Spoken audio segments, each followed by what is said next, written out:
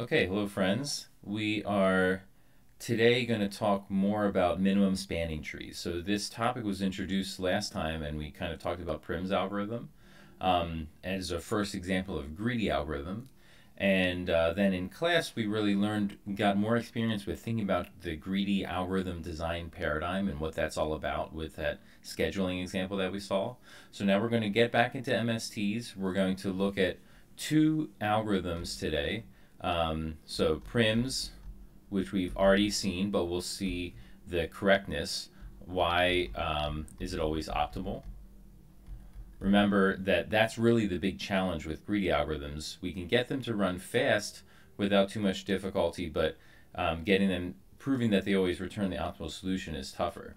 And then we'll look at a different MST algorithm called Kruskal's, um, which is uh, slight variation, slightly different than Prim's, and it has some advantages. And so um, it's kind of interesting to look at that other way of solving it. So just as a reminder about Prim's algorithm, is it's starting from some vertex in the graph, like vertex A, and then it's always going to take the least weight edge from the current tree so far. So here it'll take this weight 1 edge to join in with C, and then it's looking at all the neighboring edges of any of these. Okay, weight 1 is the least one out of those. Then it's looking at all the edges connecting these three nodes to the rest of the graph. Okay, there's another weight 1 edge, so there we go. And now it's looking at everything connecting these, and we have two weight 2 edges, so we could go with either one. Let's go here, and then finally we'll go here to get D. So we get this um, minimum spanning tree. It's a tree because it's a connected graph with no cycles, and it's spanning because it touches every, um, every node in the graph. Now, when we're thinking about proving the correctness, there's a very, very useful concept that's called edge contraction. And the idea of edge contraction is I'm going to take two nodes, once I've kind of uh, joined them, if you if you if we go back to the beginning of this algorithm, once I the first two nodes that I joined were A and C. So once we join them, they're really kind of acting like one unit. Um, they're really kind of like one mega node that's now we're exploring the connection from that mega node to the rest of the graph. So when we join up A and C in this first step of the algorithm, we can think of that with edge contraction. We can think of that as, as if we're really transforming into a new graph where we have one like AC node that's just one thing with that edge between them that we took is is collapsed. And then all the rest of the nodes are, are just like they were, and all the edges between these other nodes are just like they were before. So this, and then Finally, all the edges from A or C to any of these other nodes are now there. Okay, so we just did an edge contraction that transforms this graph into this one. And where now we're saying, okay, from starting point of AC, what would be the next edge to take is, of course, this weight 1 edge that goes up to B. And so now the next transformation, really in the graph, we're just making this connection to B and adding that to the minimum spanning tree. But if we think of it in terms of edge contraction, then what we've really done is made now our mega node got even bigger. So I'll say A, B, C. Now all three of those are combined. And then we have, okay, so we're just like, every time we take an edge, we can think of it as, instead of adding an edge to the tree, which is really what we do algorithmically, and in terms of like implementing it, we can think of it, it's equivalent to think of it as contracting um, the edge we picked and making like a bigger mega node. And I hope you notice that what happens when we think of it in terms of edge contraction is that, okay, originally we were starting from node A, and that was like our starting point, and we picked the least weight edge from there. Well, when we contracted it now, it's really just a, another instance of exactly the same algorithm, is that we're starting from this one mega node AC and picking the least weight edge from there, which is this weight one edge to B. So what this edge contraction idea allows us to do is to conceptually say that really every step of the algorithm is the same thing. Every step of this Prim's algorithm is saying take one node, which is maybe you know, a designated node from the original graph where it's like a mega node of what we've constructed so far, and add in the least weight edge from that node to any other spot in the graph. Okay, let's talk about the correctness of Prim's algorithm. And because of the technique of edge contraction, then we really only have to care about, I think this is cut off, um, whether proving that for any single vertex, the, the minimum spanning tree always contains the least weight um, edge connected to that vertex. So the idea of this proof is always going to be we start with some optimum solution. So let opt be any mini be um, a valid like minimum spanning tree of the graph.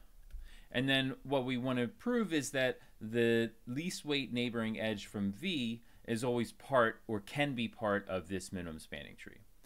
Um, so the idea is going to be to how can we convert opt so that it always has this least weight neighboring edge. So before talking about that, let's let's maybe look at a picture to help us understand. So here's a graph. I'm not I'm not writing any weights on it, um, but some graph, and and I have this one vertex V that I care about. So of course, if uh, if the the edge that we care about is already in this opt, then we're done. Um, so let's say, so if the least weight neighboring edge, so LWNE means least weight neighboring edge of V is in opt, then we're already done. Because that means that that's, that's what we wanted, to, to say that it always has to contain V's least weight neighboring edge. Otherwise, what we have to do is we have to transform this optimum solution into one that has the least weight neighboring edge. And so that's what we want to think about how can that work. Um, so let's imagine a tree within this graph that doesn't have the least weight neighboring edge. So I'm going to say that this is W1. So like this is the um, least weight neighboring edge, LWNE from V. So that's this one down here. And we imagine some tree that I guess we're going to say is a minimum spanning tree, which doesn't contain that edge. So maybe it looks like this and something here might go down to that one and uh, another edge up here. Okay. So we have these these red edges form some opt um, minimum spanning tree. But it doesn't contain the least weight. Oh, I I missed. Um, see this. See, I missed something because this this node down here is not part of the tree at all right now. So that has to be connected somehow. Let's say it's connected right here. So I think now I actually have a spanning tree. And so let's say that's the minimum spanning tree and doesn't contain the edge that we say has least weight. So the question is, how can we transform the optimal solution that we're given into one that has the greedy choice, that has this least weight neighboring edge. And the way to do that is we just add in the least weight neighboring edge. When we do that, so we'll add in the least weight neighboring edge. When we do that, what you should notice is that we get a cycle. We're always going to get a cycle. Why?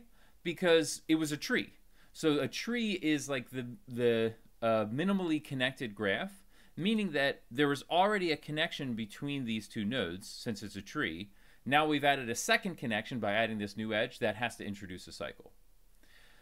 But now along that cycle, what you should notice is that along that cycle, so here's the, I'll just highlight the cycle in blue for a second. So here's the cycle that we just created. And along that cycle, there's another edge from V. There has to be another edge from V because it's a cycle. We added one edge from V, there has to be another edge from V along the same cycle, otherwise it wouldn't be a cycle. So that means that what we can do is actually cut out the other edge from V. So I'm going to call this in blue, this is like the other edge from V. So we'll add in the least weight neighboring edge, we'll subtract the other edge. So I'm going to remove this one from the tree, and now what I get is another tree. So if you look at the red edges, except for the one that we removed, plus the green edge, the least weight neighboring edge that we added in, what we have is another tree. So anytime you, for any tree, if you add an edge or create a cycle, when you remove any other edge on that cycle, you get back to having a span spanning tree. So we have another spanning tree here, but what you should also notice is what's the weight of this spanning tree? Well, we removed, we added our least weight neighboring edge and we removed another neighboring edge from V. But we know that this one, the least weight neighboring edge, the green edge that we added in, has to be less than or equal to in weight than the one that we removed. So this has to have less than or equal to the weight of the original optimum solution. So what we've done is we've said, if you give me any optimal solution that doesn't have my greedy choice, I can turn it into another spanning tree that has less than or equal to the size of that first one. So in terms of the proof, what we say is that um, if the optimum solution does not contain our least weight neighboring edge, so then otherwise, um, opt must contain another edge from V in a cycle with the least weight neighboring edge. So then swap them and you get another uh, minimum spanning tree. Because I know that when I swap two edges on a cycle like that, it's always going to make another spanning tree. And since I swapped with the least weight neighboring edge, then that new spanning tree must have less than or equal to the weight of the first one. So it must also be an optimal spanning tree. And then that proves the thing which we really wanted to say, which is that um, a minimum spanning tree always has to contain the least weight neighboring edge. So that's it for correctness of Prim's algorithm. Um, so now to think about the analysis in terms of running time, it really depends on the data structure. So uh, it really, uh, this algorithm is exactly the same exactly the same. We already mentioned this last class, but um, as Dijkstra's. So everything you know about Dijkstra's, I'm not even going to, to fill this in. We know that Dijkstra's either costs theta of m log n if we have an adjacency matrix and a sparse graph.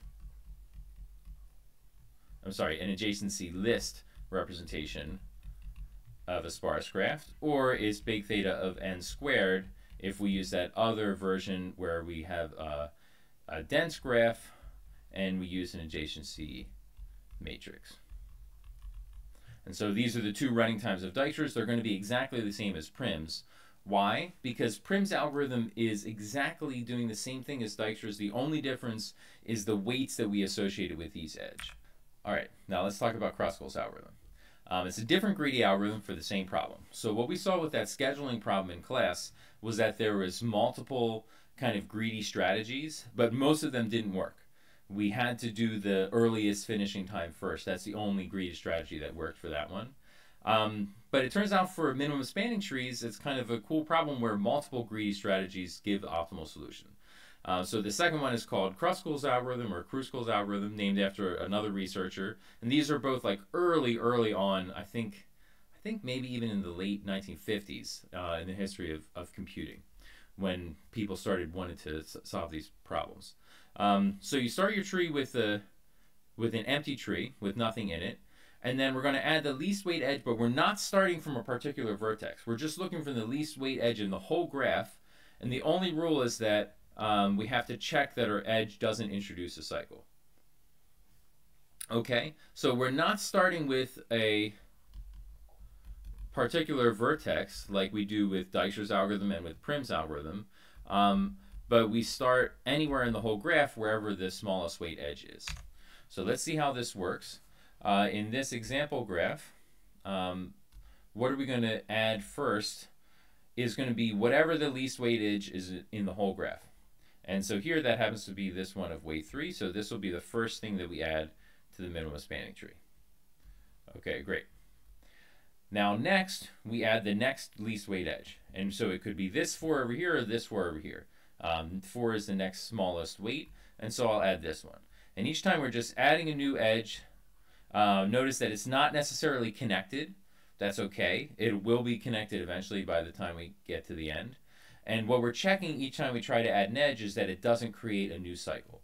So then we'll add this other 4 over here. So now we have kind of two pieces, one piece down here and one piece up here. The next least weight edge would be this one of length 5, but look, that connects two nodes which are already part of the same component. So this would create a cycle if we added that, and so we don't add it. We skip 5, and now let's say the next the smallest weight is this one of length 6 up here, so we add that next. That doesn't create a new cycle. Now we have two components, and um, we really just need one more edge to connect them, and the next smallest edge is weight 8, and indeed that's what's going to connect these to give the minimum spanning tree of the whole thing. If you look back from your notes from last time, this is the same example that I used uh, when we presented prims in the last video, and it's the same tree that we get out of it.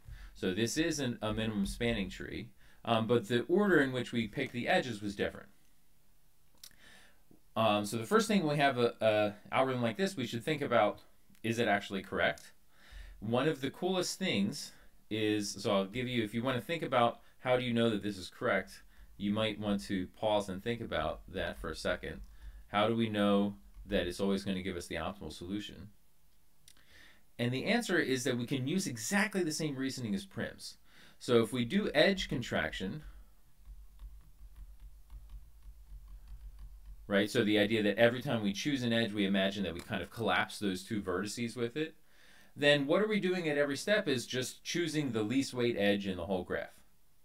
Well, the least weight edge in the whole graph is definitely the least weight edge that's adjacent to some vertex in the graph. And then the same theorem tells us that the least weight edge um, is always part of some optimal minimum spanning tree. So the same theorem that we already proved, which said that for any vertex, the least weight edge from that vertex is always part of an optimal MST. Um, now, here we're basically choosing the least weight edge in the whole graph. Well, if it's the least weight edge in the whole graph, then it's definitely the least weight edge that's adjacent to some vertex.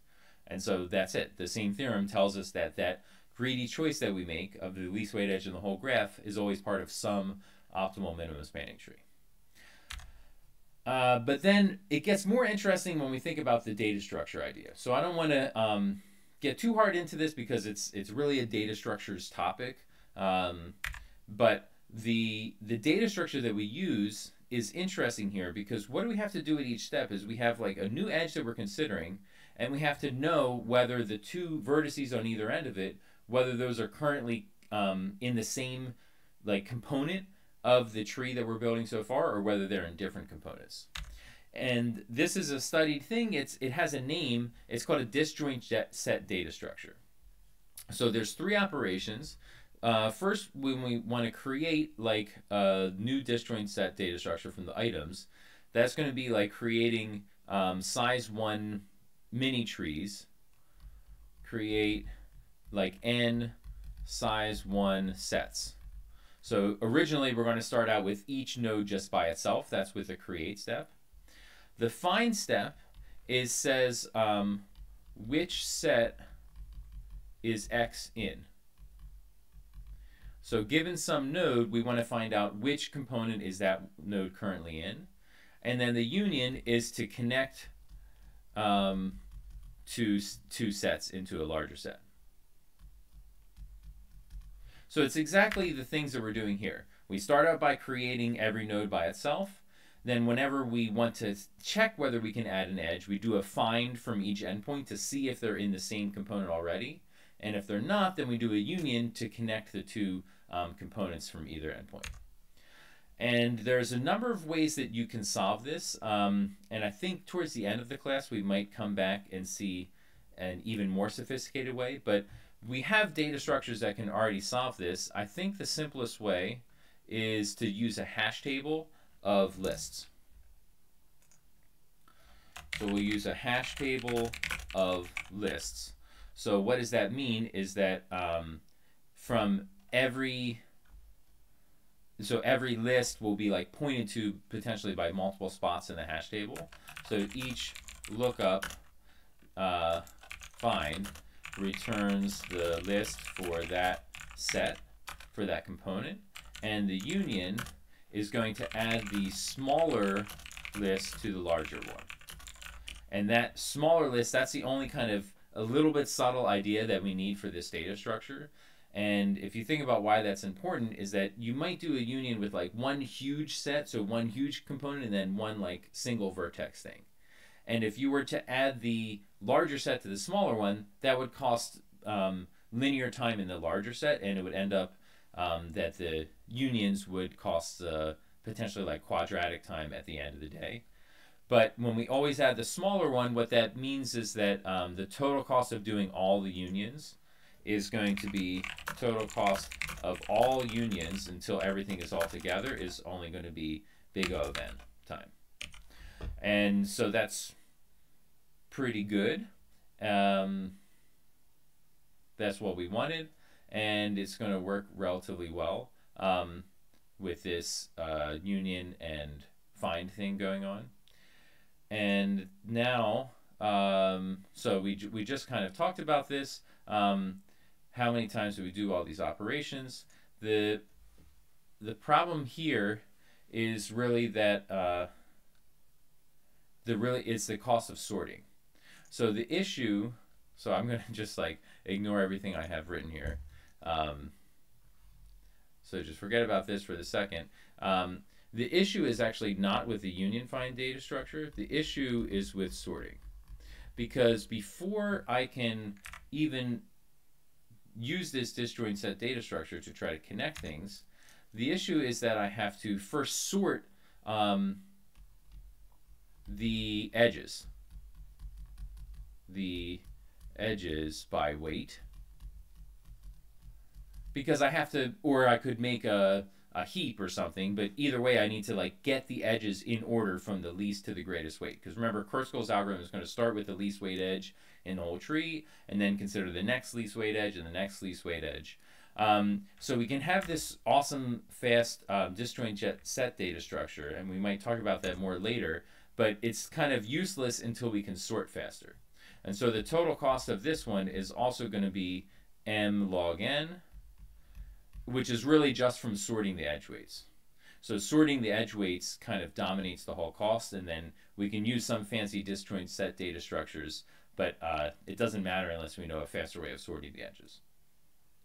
So it ends up with the same running time as like the sparse version of Prim's algorithm, and uh, but it has some advantages in that if we know a way of doing sorting faster, then we can potentially do um, the whole data structure thing faster. And so we might talk about that a little bit later in the class. Um, so just to kind of wrap this up, what did we just see? We saw prims and Kruskal's uh, that both utilize the greedy algorithm. The greedy algorithm is this idea of adding one um, piece to the puzzle at every step along the way. And they also depend on um, data structures. So with greedy algorithm, the challenge is to prove optimality. And that part is not really going to get any better. Once you have a greedy strategy that you know is giving you the optimal solution, you want to stick with that strategy. It's um, there's not a lot more to think about. But to make things faster, it's really going to be about improving the data structures. So there's kind of a greedy paradigm that we're talking about of this, like what we saw on the scheduling problem as well, which you many of you employed in the first project um, of kind of making your choice based on short-sighted information and then sticking with it, never backtracking. Um, but there's also algorithms which heavily depend on data structures. So like we also saw another example of this concept in heap sort. And by we, I mean you saw this in your data structures class. So that's another example where it's an algorithm, it's doing something algorithmic, like sorting a list, but the way it's doing it is by using the heap um, data structure. And so if you want heap sort to be faster, you really need to get a faster heap. So it's no longer really an algorithms problem, now it's a data structure design problem. Same with, uh, you could say, with Kruskal's algorithm, that in order to make Kruskal's algorithm faster, it really depends on that sorting problem and on the um, disjoint set data structure. So it's no longer about the, um, it's no, no longer really about minimum spanning trees, it's about this data structure thing going on. And so that's another um, kind of way of solving problems that's kind of like another paradigm, another way to approach problem solving is to say we have some great data structures, maybe we can use them um, to help us solve this problem. And then you, you're kind of turning an algorithms problem into a data structures problem. With then you have the advantage is that there's a lot of well studied, effective, um, well implemented data structures that are out there for you to use. Okay, and that's it for today. Hope this was fun. I'll see you next time.